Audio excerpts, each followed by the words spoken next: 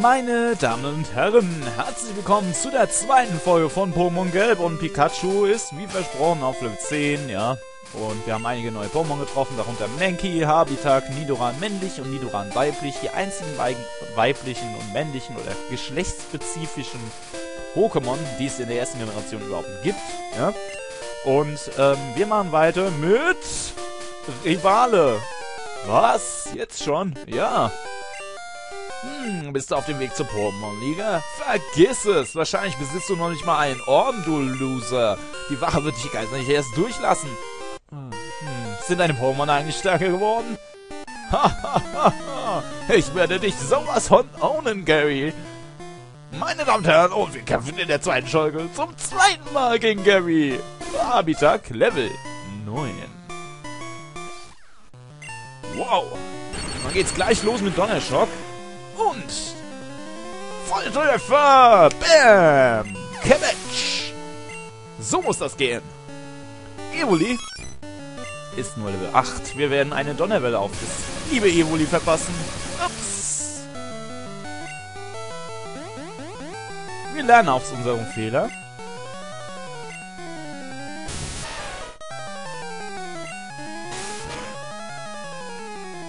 Tja, damit hast du nicht gerechnet mit diesem Heuler und Donnerschock. Gegner Evolis paralysiert. Pech gehabt. Nochmal Donnerschock. So, war mir fast klar, dass das jetzt kommt. So, und Evoli hat noch ein KP. Der Sandwirbel maunte Evoli selbst ein bisschen. Okay, Rutenschlag könnte gefährlich werden sollte nicht mehr gefährlich werden, denn Evoli ist auch besiegt. 157 Erfahrungspunkte. Aber es reicht nicht für ein Level. Oh nein, so viel Glück wie du kann man nicht haben. Doch. Was? In der Pokémon-Liga gibt es viele starke Trainer. Ich muss einen Weg finden, an ihnen vorbeizukommen. Du solltest aufhören zu bummeln und dich in Bewegung setzen. Ja, das würde ich mal bei dir raten, ganz dringend. Nein, es gibt keine Turboträder. Ähm, so. Ich kann euch mal die Pokémon-Liga kurz zeigen. Oder das Eingang zur Pokémon-Liga-Dings. Wie wird's denn hier genannt? Haupteingang. Pokémon-Liga Haupteingang. Ja, es ist hier noch der Haupteingang.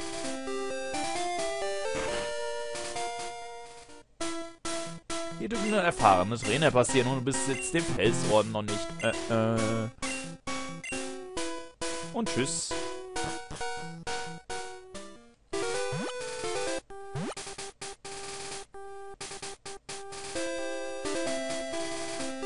Das war wohl leider falsch. So, jetzt können wir hier wieder in diese Richtung.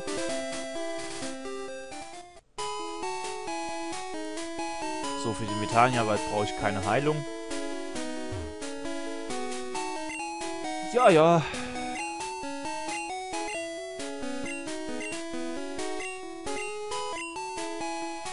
Man kann nicht Ja oder Nein drücken, man muss es gezeigt bekommen. Achtung, jetzt geht's los. Kreis setzt Pokéball ein. Ups. Kreis wird von Ratzbratz attackiert. Ähm.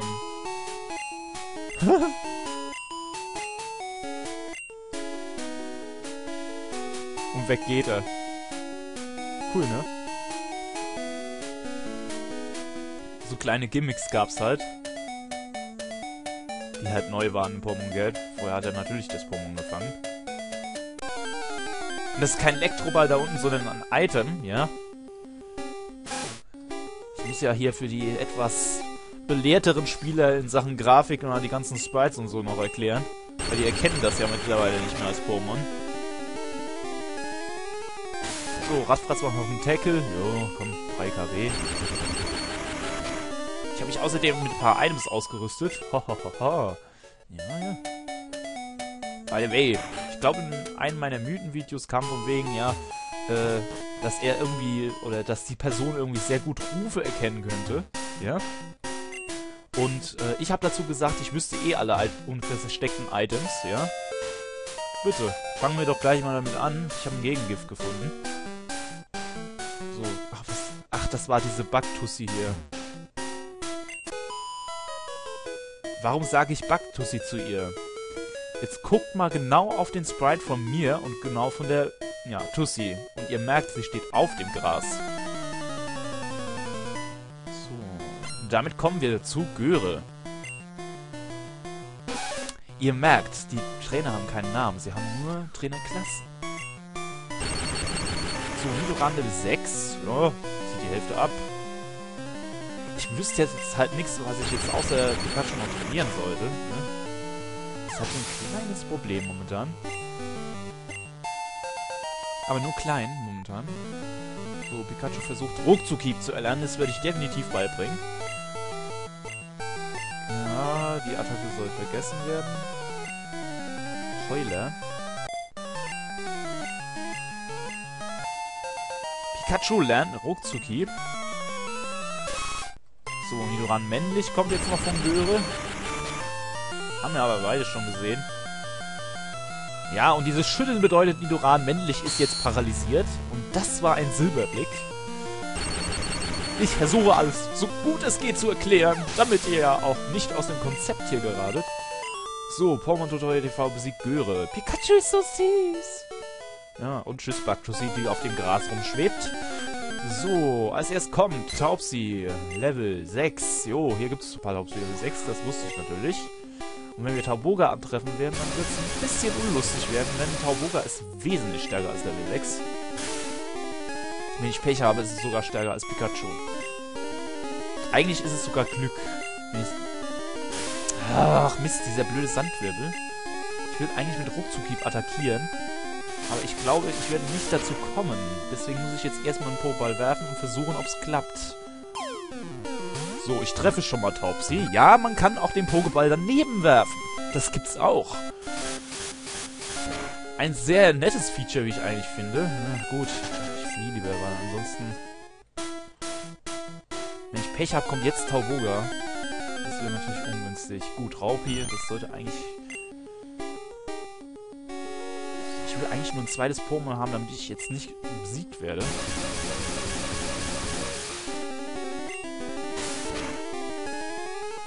So, Raupi landet mit 3 KP einen Volltreffer.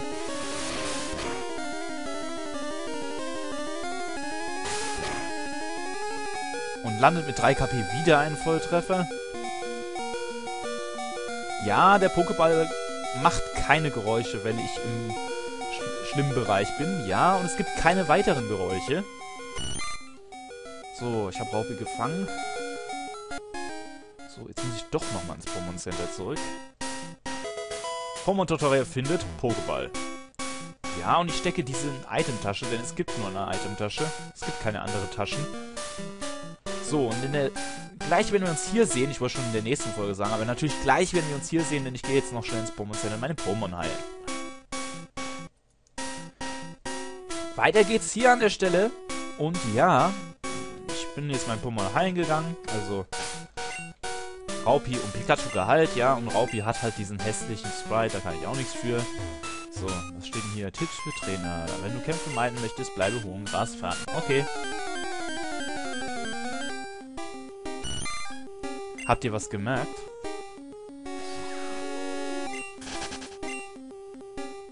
Ich habe mich nur umgedreht. Ja, auch beim Umdrehen können Pokémon kommen. Okay, Safcon ist Level 6. Ah, das rentiert sich, glaube ich, sogar noch zu besiegen. Mal gucken. Härtner, jo, verteilen zu. Das interessiert Donnerschock relativ wenig in der ersten Generation. Volltreffer. 61, jo, hat sich rentiert.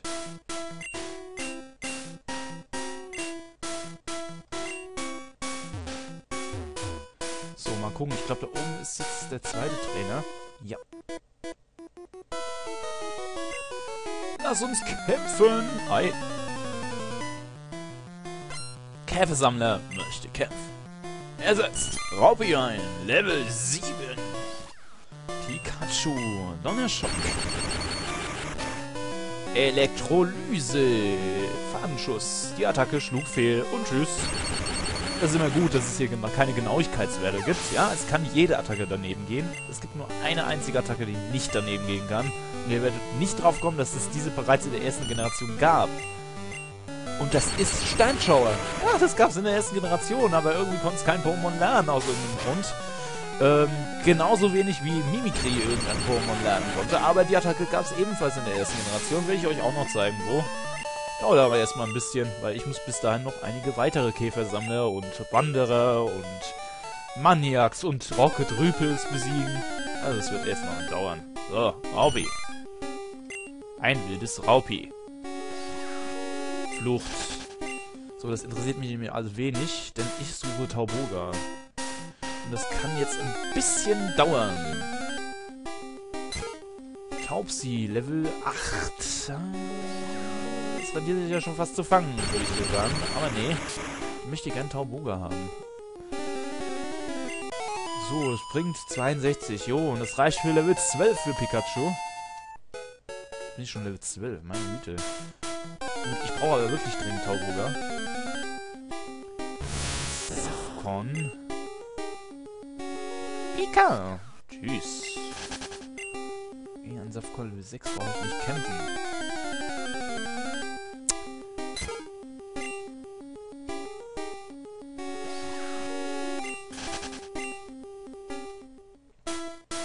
Und ich muss auch sagen, der erste Kampf in der ersten Generation hier in Gelb ist sehr, sehr schwer. Also, ähm, solltet ihr den beim ersten Versuch packen, seid ihr gut. Also, das muss man einfach so sagen, weil mit Pikachu und Tauboga wird es wirklich schwer, gegen Rocco anzustehen. Und das macht schon die erste Generation so aus. Aber ihr werdet merken, die Arena-Leiter haben zum Teil sehr merkwürdige Pokémon im Vergleich zu der ersten Generation in Rot. Ich glaube, Taubsi Level 8 können wir immer schön besiegen. Da brauchen wir nicht fliehen, oder? Ja, Taubsi Level 8 geht immer schön drauf. Und 62 Erfahrungspunkte, das ist gut. Gibt auch regelmäßig Erfahrungspunkte immer. So, komm. Level 6. Nee, Level 4. Oh, ja, stimmt. Gab's auch. Pokémon, die unterentwickelt äh, zu, anzutreffen sind. Gab's aber auch nur in der zweiten Generation. Wäre ein bisschen blöd, wie ich finde. Weil die kriegt man auch mit Mahoband nicht so weit. Das ist ja außerdem in der zweiten Generation noch gar nicht gab. Ich kann mich noch erinnern. Erste Route Alabastia in der zweiten Generation. Visignor Level 4. Oder Visignor Level 2. Juhu. Aber wieso entwickelt sich nun mal viel später? So, Raupi Level 5. Ja, auch nicht das Pokémon, was ich suche muss halt bloß bei Tauboga aufpassen, dass ich es halt auch direkt reinbekomme in die Pokebälle. Weil wenn das nicht der Fall ist, kriege ich echt Probleme. Ich darf auch mit Pikachus Donnerblitz, ach Donnerblitz, Donnerschock keinen Volltreffer landen.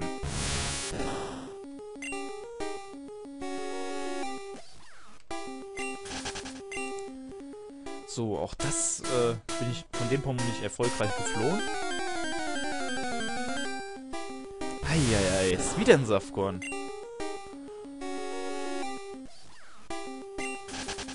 Hm. Come on, Tauboga.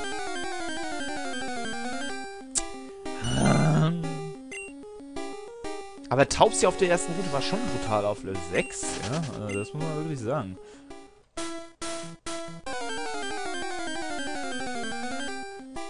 So, jetzt kommt wieder Taubsi Level 8 wahrscheinlich. Jo. Ich glaube, Taubsi gibt's hier gar nicht schwächer als Level 8. Ich habe bis jetzt noch keins gesehen, das unter Level 8 gewesen wäre. Mir das denn gerade ein? Naja. Okay. Wieder ein Das will nicht so. Ich muss wohl bis zur nächsten Folge warten, wie das aussieht.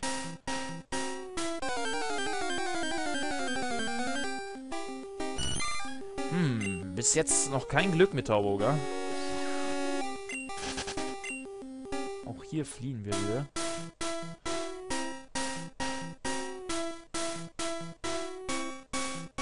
Relativ lange kommt manchmal auch kein Pokémon im Gras. Bin mal gespannt jetzt. Äh, ich glaube, das wird nix. Nur ein Pokémon machen wir und dann mal gucken. Und wildes Pokémon, komm! Komm, Pikachu wartet doch auch sehnsüchtig drauf. Pikachu, Orte Tauboga und Tauboga! Mann! Uncool! Gut, dann halt nicht, ne? Und in der nächsten Folge werdet ihr mich sehen mit einem Tauboga im wilden Kampf. Und das wird richtig lustig werden, denn wir werden Tauboga fangen in einem Pokéball. Und das wird extremst lustig, das sage ich euch jetzt schon.